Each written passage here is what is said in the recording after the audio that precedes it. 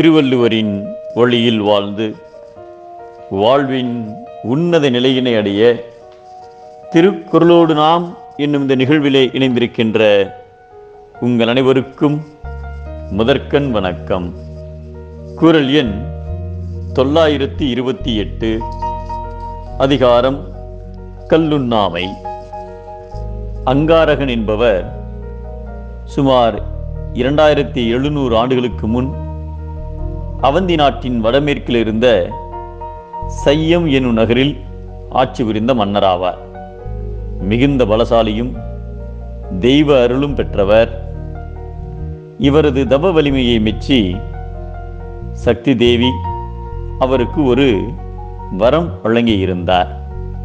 அங்காகரனின் இடக்கரத்தில் ஒரு சிறிய துளை ஒன்று உண்டு. அவ்விடத்தில் ஓங்கி அடித்தாலன்றி அவரை யாரும் அழிக்க முடியாது என்பதே அவ்வரமாகும். இச்செய்தியை அங்காகரன் யாருக்கும் சொல்லாமல் வைத்திருந்தார். அதனால் அவர் செல்லும் போரிலெல்லாம் வென்று வந்தார்.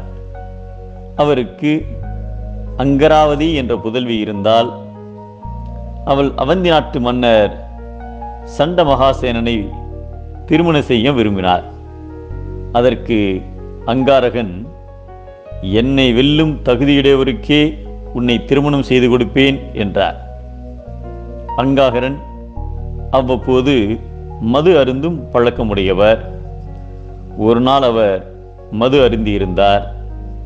அப்பொழுது அவரது மகள் அங்கராவதி அவரிடம் சென்று தந்தையே பல மன்னர்கள் ஒன்று சேர்ந்து போர்தெடுத்தால் எப்படி நீங்கள் அவர்களை வெல்வீர்கள்? என்று கேட்டார் அவர் போதையில் இருந்ததால் இந்த கேள்வி அவருக்கு கோபத்தை ஏற்படுத்தியது.